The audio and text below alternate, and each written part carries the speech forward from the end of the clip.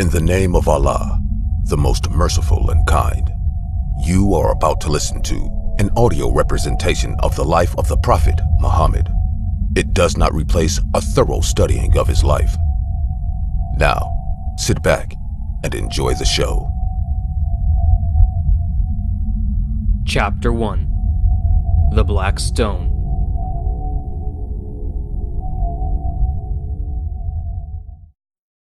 The building in the center of the city of Mecca was the most important building in the entire world. Or at least it was to the residents of Mecca, and you really couldn't blame them for that assumption. Mecca wasn't much of a city to begin with, and anything that gave it some distinction made it worth glorifying. The ancient trading village was made of shabby mud huts that lined the valleys that were hundreds of miles from any real civilization. As far as the rest of humanity was concerned, there was nothing there but sand, sun, and savages. If you could miraculously find water out in the mountainous crevices and scorching sand dunes, it was probably going to be around Arab nomads and tribes. And, truth be told, the Arabs probably posed more of a threat to your life than the sun or the thirst. But if you were lucky enough to end up in Mecca, your saving grace was that very special building in the center of the city. The most important building in the world, the Kaaba. In Arabic, Kaaba literally meant cube, a fitting name since the Kaaba was just a rectangular building of stone and mortar, covered in multicolored drapes. According to the Arabs, the Kaaba was the house of Allah, the God in Arabic. Therefore, the Kaaba was holy and sacred, and everyone around the Kaaba was safe. You couldn't be robbed, killed, cheated on, kidnapped, or harmed in any way as long as you were next to the Kaaba. No other place offered such protection to an outsider. A man could go to the Kaaba and see the killer of his father standing right there, and he would not and could not touch him. The Kaaba was the oldest and biggest building in Mecca, and for as long as anyone could remember, it was the first shrine ever built to Allah. In fact, legend had it that the Prophet Ibrahim had built the Kaaba himself many centuries ago. It was so old that when the flash flood had hit the night before, the walls collapsed almost immediately. A recent fire and years of neglectful maintenance did not help its chances when the water washed down from the surrounding mountains and into the valley where Mecca was located.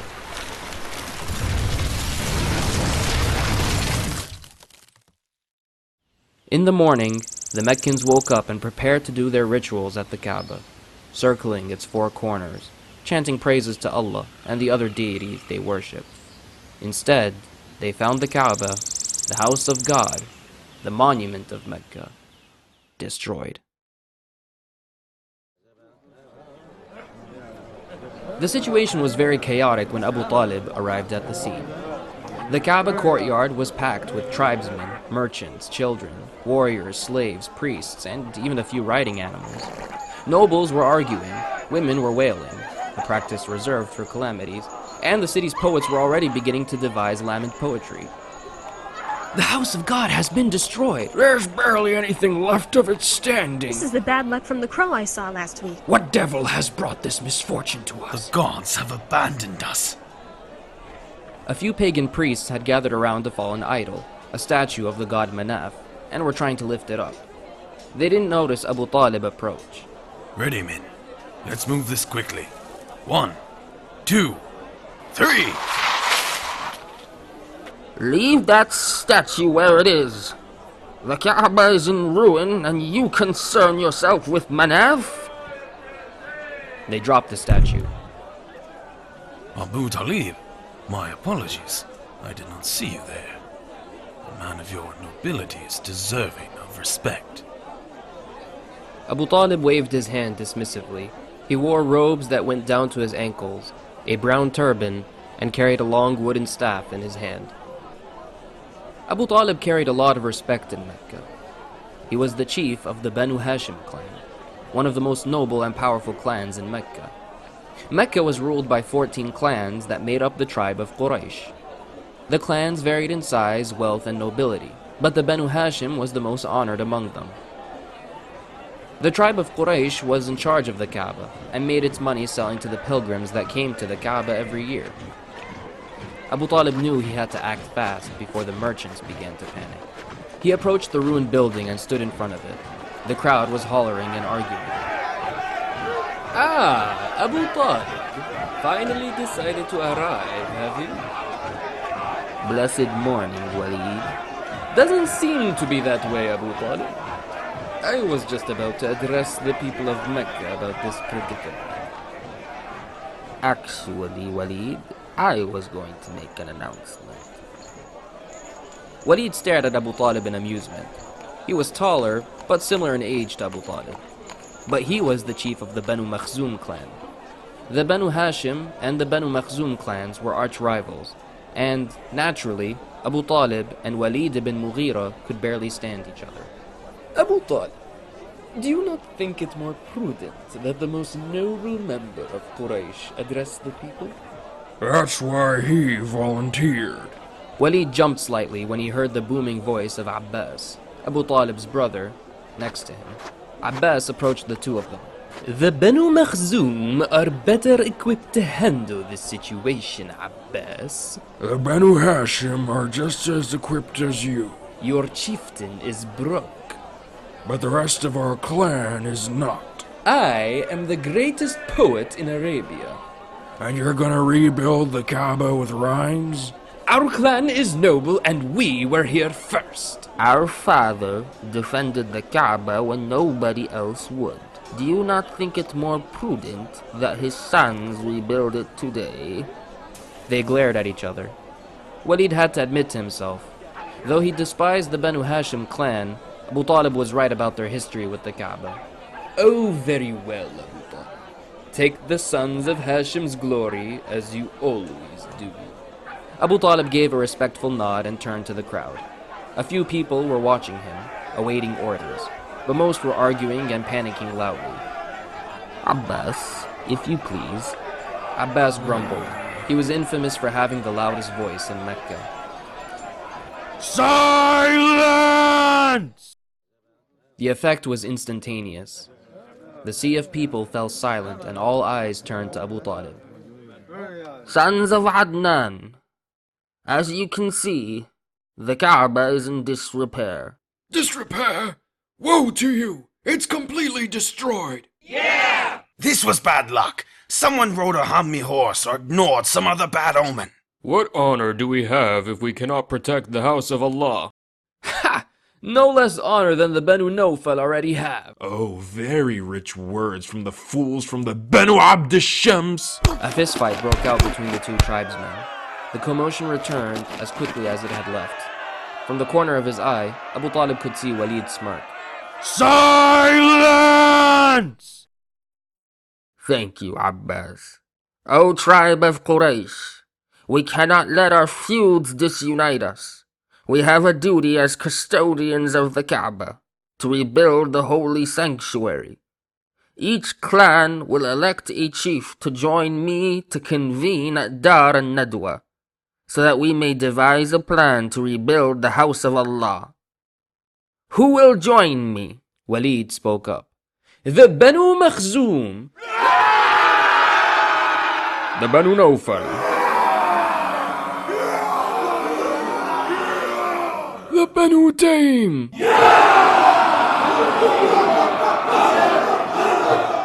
The Banu Abd Shams.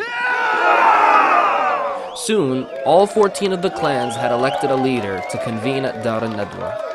Abu Talib led the ensemble of people who paraded through the narrow streets of Mecca, some banging drums, others ululating until the chieftains arrived at Dar al-Nadwa. Dar al-Nadwa was a low wall that ran a wide circle, a campfire in the middle, and a high palm leaf ceiling. This was where the tribe of Quraysh met to govern and make decisions. Those decisions usually boiled down to war. War was extremely easy to start in Arabia. A tribal war had once started between two clans over a camel and lasted decades before subsiding. Abu Talib wanted to avoid war at all costs. He hoped to Allah that the chieftains would be sensible enough to rebuild the Kaaba without any need for conflict. Settle down, my noble comrades. Excellent speech, Abu Talib. If I did not know better, I would have assumed the Banu Hashim had eloquent speakers. Abu Talib was really tempted to ad lib some lines of poetry at Walid to show him true eloquence. He was a skilled poet himself, but now was not the time for rivalry. Let us address the matter at hand. How do we rebuild the Kaaba? Why don't we just use the same stone it was built with? Most of the bricks are either too old or cracked. Besides, I think this is a great opportunity for us to make improvements to the structure. New bricks, a roof, new locks, and make the door higher off the ground so we do not have thieves trying to take the treasure within. There were murmurs of agreement. None of us are that skilled in construction, nor do we have the material. One of Walid's slave girls was serving wine to the chiefs. While she did this, a younger nobleman spoke up. I know of a Greek ship that was headed for Yemen. Caesar sent it stocked with material for a church. You want to steal from the Romans? I doubt that will be necessary. The ship was hit by a storm and is stuck in Jeddah. Word in the desert is that the architect is trying to sell the wood, the marble, all the material. So let us hire him. Send riders to Jeddah. Bring back all the material. With whose money? Definitely not you, Abu Talib. We all know of your financial situation. This time it was Abbas that had to restrain himself to Walid's comments. We should fundraise the money from all of Quraysh. No, all of Mecca. Our clan will dedicate funds as well. And ours. Do not forget the Banu Taym. Wait. O people of Quraysh, this is a noble cause, so the money must come from pure sources. No hire of harlot, no ill gotten gains, thievery, or gambling. Then let us take an oath. We shall work together to build the Kaaba. And so they made the arrangements. Walid ibn Mughira sent his son with a few riders to Jeddah to pick up the architect and material. Abu Hakam, Walid's right hand man, began walking through the streets of Mecca, fundraising for the rebuilding of the Kaaba. Money! Money for the reconstruction of the house of Allah! Place your dinars and dirhams here. Yeah, yeah, you heard him. Put the money in the bag. Ubay, you're collecting donations as well? Huh? Donations? I thought we were robbing people. No, you fool. We can rob people some other time. I'm collecting donations for the Kaaba. Your tribe is from nobility. Would you like to donate? Oh, yeah, yeah, sure, sure. I have a bag of gold right here. The money must be from pure sources. Huh? What do you mean, pure sources? As in no gambling, interest, prostitution, thievery. You know what I mean. Oh, Ubay paused for a few seconds, then proceeded to drop one coin into Abu Hakam's bag. Meanwhile, many of the other tribes were at the Kaaba ruin. They wanted to clear the debris and demolish what was left of the Kaaba to make way for the construction. But nobody seemed to want to be the first to intentionally harm the structure. this feels wrong. We have to destroy the old to build the new. What if Allah curses us for destroying the sacred house? What are you men afraid of? Allow me. One man approached, looking determined. He picked up a stone from the structure, but to his astonishment, the stone leapt out of his grip and flew back to its previous location. He blinked at the miracle he just witnessed. By Allah. What is. He reeled back in horror. A long, thick, black serpent emerged from under one of the bricks. The crowd gasped and took several steps back in shock. Rumors had previously been spread about a snake residing under the Kaaba. Several pilgrims had reported hearing hissing while circling around it. And now, it seemed the rumors were true. See? Allah sends a snake to protect the Kaaba. He is sending us a message. We should not touch a single stone. Did you see it fly from his hand? What do we do? Suddenly, a falcon dived from the sky and swept the snake away in its talons. The crowd stood dumbfounded. Well, now what message is he sending us? Perhaps that he is giving us permission? Or warning us of destruction? Remember what happened in the year of the elephant? I am not moving one stone. Neither am I. When nobody else said anything, Walid, in exasperation, cried, Very well, if none of you are brave enough, I shall do it. Slave, hand me a hatchet. The slave nervously handed Walid the hatchet. O Allah, my lord, you know I only strike your holy sanctuary to rebuild it. I mean no harm. He took a swing at the foundation. A cloud of dust emerged. The crowd watched on in apprehension. When nothing happened, Walid swung again, and again. It's perfect. If nothing happens to Walid, we'll know it's safe for us.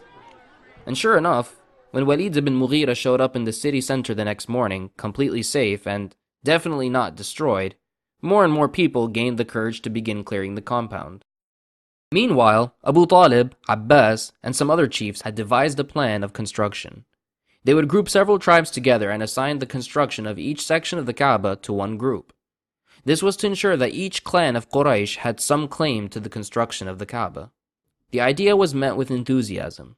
Each clan was given a section of the Kaaba to construct as soon as the old structure was clear. Abu Talib, however, was still bothered by a nagging concern. Nobody had mentioned it in any of the meetings, but he knew it would come up eventually. A part of him was still hoping, though, that if he didn't address it, it wouldn't be an issue.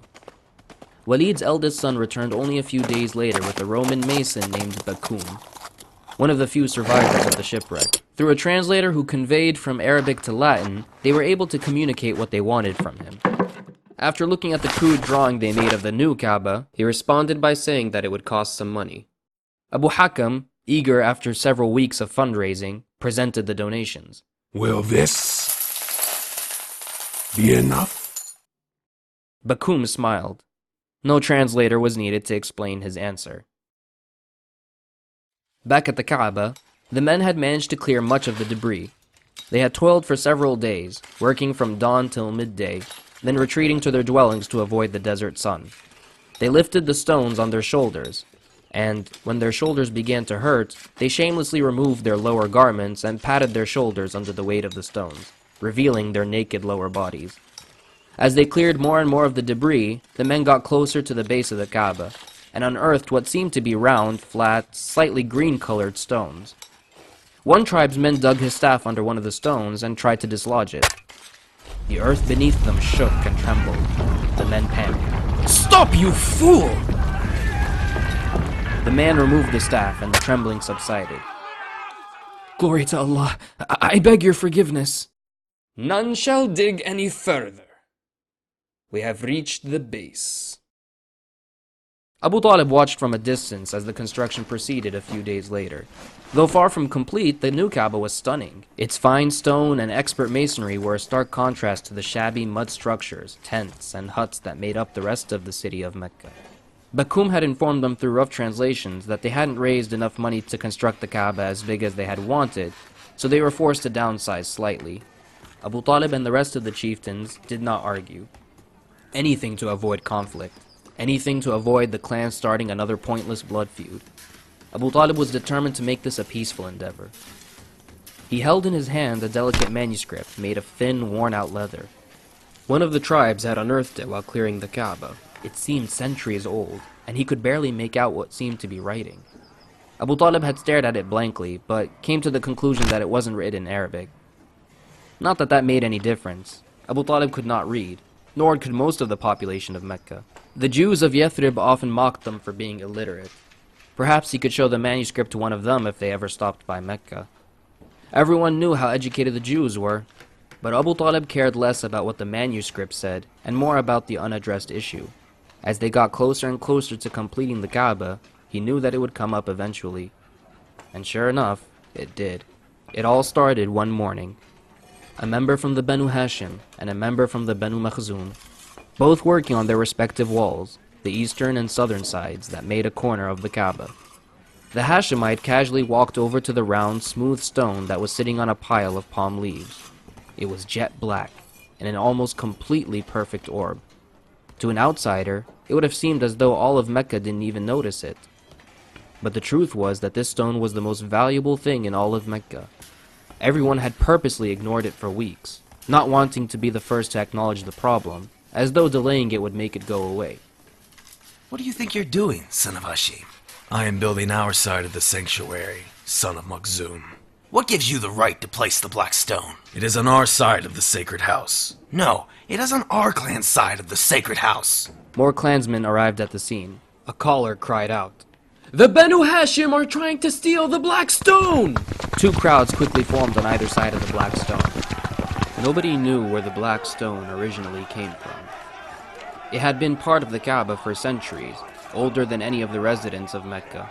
It was passed down from previous generations that the Black Stone was the only piece of the Kaaba that was part of the original structure built by Ibrahim.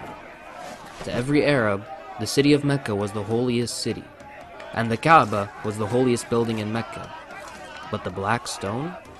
The Black Stone was the holiest part of the Kaaba and perhaps the whole world. You will not have the honor of placing the Black Stone. You have no right to put your hands on it! Walid and Abu Hakam showed up. It's the stone for us or the sword for you. Your choice, Benu Hashim. We have swords for every one of you, Banu Makhzum. Stop! The crowd parted for Abu Talib. No one lay a finger on the black stone. Walid, join me and the rest of the chiefs at Darun Nadwa. We can sort this out. He almost pleaded with Walid ibn Mughira. Not this time, Abu Talib. Your clan has always had every honor. But today, my clan gets this. He spat viciously. Why simply you, then? The Banu Taym are from the sons of Adnan, just like your clans. Another chief exclaimed. All right, all right. We'll settle this. The Banu Abd Shams takes the Black Stone and... Abu Hakam drew his sword. All around him, men from different tribes did the same. It was Abu Talib's worst fears realized. He tried pleading with the other chieftains. He tried compromising. For three days he tried to convene talks, but it was no use. His clan would not compromise, and Walid's clan made it very clear. They either got their way, or it was war. The other clans, eager to bolster their integrity and clout, also took uncompromising stances. On the second day, people showed up to the nearly completed Kaaba in full armor. On the third day, Abu Hakam made a blood oath with his tribe, each cutting their hand and wiping blood on an animal skin. None of them could write, so the blood acted as a signature. You swear to give up your lives for the sake of your clan? Yeah! You swear that you will not sheathe your swords until we have the honor of placing the black stone on the sacred house? Yeah! And you swear that if we fight those dirty Hashemites, you will not rest till you've killed every last one of them?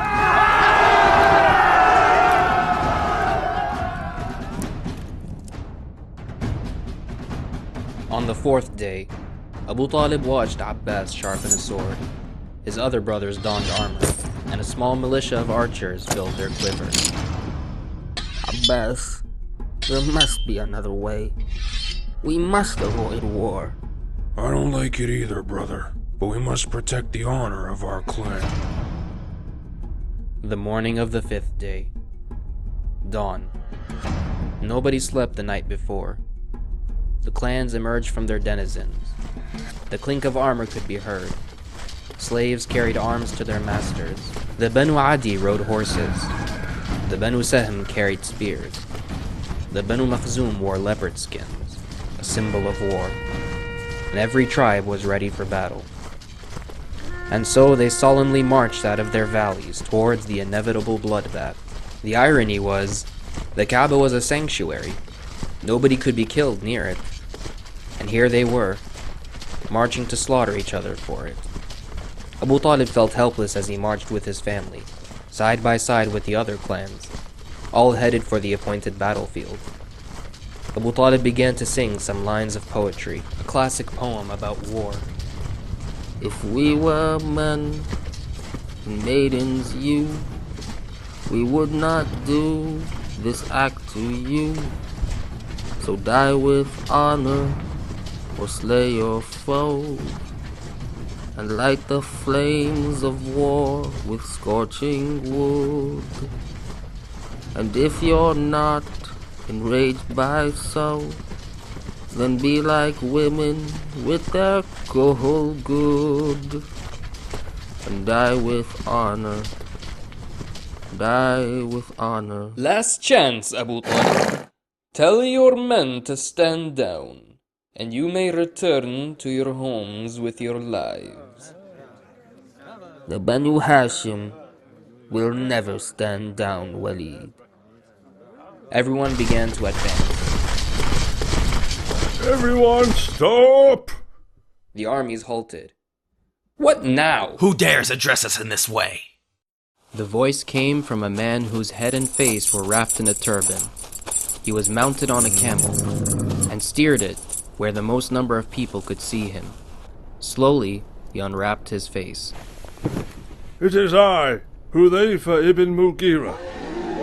The crowd looked dumbfounded. Walid, clad in armor, spoke up immediately. Brother, what do you think you are? Silence, Walid, you fool! Your stupidity is going to get everyone killed. Walid looked flustered. His older brother was the eldest man in Mecca, far older than him or Abu Talib. He couldn't answer back to him. Men of Quraysh, I do not have many years left to live, and I will not see my tribe shed blood so trivially. It is true, I wish my clan to be the one to fit the black stone, but not if the black stone is smeared in blood. He glared at Abu Hakam, who looked away, embarrassed. Then what is the solution? In matters like these, let the gods decide. Luck of the draw. The first man to enter upon the sanctuary decides who places the black stone. There was a fleeting moment, the smallest unit of time imaginable, where the world was quiet and calm after Hudayfa finished his words. And then. Stampede erupted. The clans merged and mixed together so that they were one rampaging wave of eagerness. Every man running at top speed, desperate to be the first to reach the Kaaba. Abu Hakam shoved people out of his way. The Banu Adi horses jostled through the crowd. A cloud of dust rose behind them. Abu Talib ran faster than he had since he was a young man. There were many gates to the Kaaba compound, each belonging to a different clan, but nobody seemed to care which gate they entered. Abu Talib sprinted past Dar al-Nadwa. He was panting. He could see the Kaaba with his own eyes. There were too many people. Everyone was going to arrive at once. This solution solved nothing. But before despair could wash over him, Look, someone is already here. the crowd stopped at once. The Kaaba was surrounded by a sea of people. The black stone was still resting on its spot, and right at the Kaaba was a man on his knees, with a white turban. He had his back to the crowd. He was touching the Kaaba with one hand, quietly praying. Everyone was silent. They slowly approached him. Abu Hakam had his hand on the hilt of his sword. Remembering his blood oath, he whispered to Walid. If he is anyone outside of our clan, we start swinging. The shrouded figure arose and turned around, his face covered by his turban. The anticipation was palpable. Any minute, a battle was going to break out. Abu Talib's eyes were wide. Is it? The man faced the crowd and unveiled his face. It's Muhammad. The honest one! And Trustworthy! It is Muhammad. It's him! The honest and trustworthy one is here. Muhammad, you know our tribe is deserving of this. He is here. You love my tribe. Choose us. Muhammad looked shocked at the cheering. He looked at Abu Talib, about to ask what was going on, but was bombarded by the onlookers. Muhammad, you love my tribe. Choose us. Oh, Muhammad, you know our clan deserves this. You are a man of justice. It took some time for everyone to settle. When everyone was quiet enough, Abbas explained to Muhammad the dilemma. Muhammad stared intently at Abbas, absorbing every word he said. When he had finished, Muhammad paused, not saying a word. Then he turned towards the direction of the black stone. The crowd followed him. Muhammad stared at the black stone and saw his reflection on its surface. Finally, he turned to the crowd, not raising his voice but still managing to be heard. He articulated clearly and concisely. Bring me a garment. The crowd turned around. A man promptly removed his undergarment, revealing his naked underbody. Muhammad grimaced at the indecency and took the shawl that was offered to him from another man instead. He spread it on the ground, picked up the black stone delicately, and put it in the center of the shawl. Clans of Quraysh, bring forth your leaders, he said. People began to catch on to what Muhammad's idea was. The chieftains, Abu Talib and Walid included, each approached the shawl with the black stone in the center. Muhammad instructed them to each hold one part of the cloth. Together, the chieftains lifted the black stone and carried it like a king on a suspended throne. The procession followed them until they reached the new Kaaba. They moved the cloth closer and closer to the empty hole in the corner of the Kaaba. The chiefs were beaming. They began to turn the cloth vertically towards the Kaaba. The stone gently rolled down the shawl, and finally, Muhammad himself placed the black stone firmly back into its place in the most important building in the entire world. There were no words to describe the humiliation. The chiefs, who were nearly all old men, were jumping up and down in celebration like children. The women were ululating, people were beating drums. All praise be to Allah. Praises to Allah, we did it! You noble man, you saved Hail us. Muhammad, the most honest man in all of Mecca. Muhammad smiled so widely that the back of his teeth could be seen. It was so contagious that even the usually stoic Abbas was laughing like never before. Abu Hakam was relieved that his blood oath had technically been fulfilled, as his tribe had placed the black stone back into the Kaaba. Everyone wanted to turn to shake Muhammad's hand, ruffle his hair, hug him, congratulate him. But finally, he came face to face with Abu Talib. There were tears in his eyes, and he rested his frail hands on his staff as he looked at Muhammad with pure adoration. Well done, my nephew. Well done. All praise and thanks belongs to Allah, Muhammad responded pleasantly. His reputation was unmatched, his honesty well known, and trust reliable. His oaths were never broken, his kindness second to none. And on that fateful day, Muhammad was even more beloved to his people than ever before. Despite all that, however, despite all the praise, congratulating, and celebrating, nobody present that day, not Abu Talib, Abbas, Walid, or even Muhammad himself could ever know that in just a few short years, the very same people who were celebrating his name would be trying to kill him.